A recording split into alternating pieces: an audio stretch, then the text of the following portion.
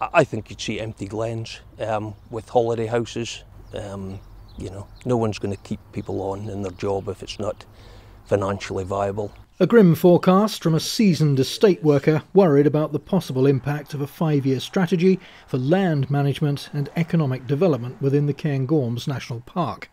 The park's guardians say change is vital to address biodiversity loss and global warming. That does give us a bigger targets for woodland creation and particularly for peatland restoration. And those areas do potentially set up some conflict with, with, with traditional land management in terms of grouse shooting and uh, deer management and we need to sit down with those sectors and work through those conflicts and resolve them. More than 1,400 people have contributed to a public consultation.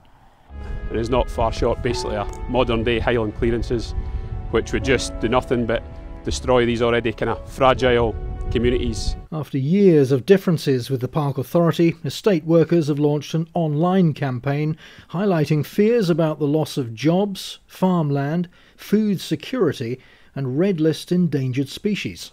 You're going to see empty areas, loss of community in some of these upland areas, um, knock on effect to local schools, the garage, the pub, the local shop. All these things are going to struggle. They may have some trade during the summer and the tourist season, but that doesn't sustain these things all year round like people living and working in the park. The anger is palpable and the fears are growing that a substantial number of jobs could ultimately be lost.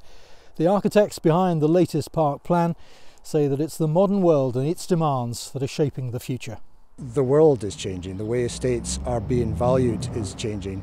The whole issue of natural capital, uh, which is a pretty new concept we weren't talking about much even 12 months ago, is, is making significant change to the way estates are valued and the way estates are managed. And again, that creates, change always creates uncertainty and insecurity. The Park Authority insists it's taken feedback on board and will incorporate that into its evolving master plan. The detail will be considered by Scottish Government ministers in June. Iain Ramage, STV News.